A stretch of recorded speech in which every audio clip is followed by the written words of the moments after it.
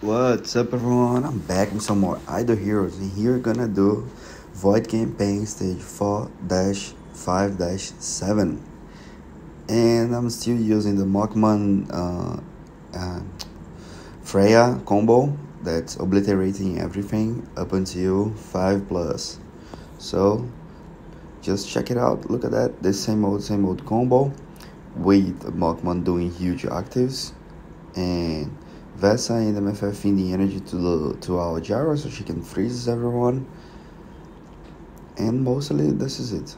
And as Queen Sot Halora have to go first the Machman, so applies the most damage and most beneficial to us. And the Vesa goes last because she frees everyone to the next round next round, making it easier for us just to carry through. And as you see, a very simple stage we Penny could have been a pain in the ass, but she didn't last long because Machman is rocking that 10 million attack and doing have heavy, high, very high damage to them, and he's using the full offensive uh, lineup with MFF going. Going for second with DBs, and so does Freya. She's also using DB.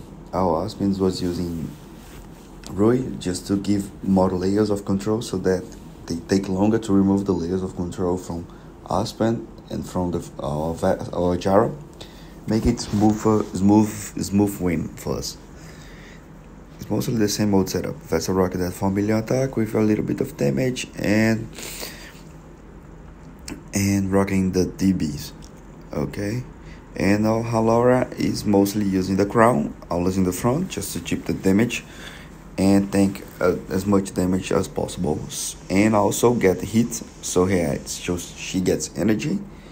But Freya and MFF are faster than her right now because some stage they don't hit the front target as, as a main so she she doesn't get energy. But if with Freya and MFF going first they she's she'll be fat energy and she will she will have energy, energy to act around one these are my houses. Malcolm in the main house, Aspis is in the second.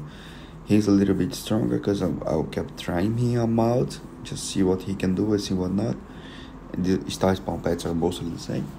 I will change them up until there. And this is the train. The train won't be changed up until 5 plus. And as you see, if you want to check out the train, you can just pause and see it for yourself.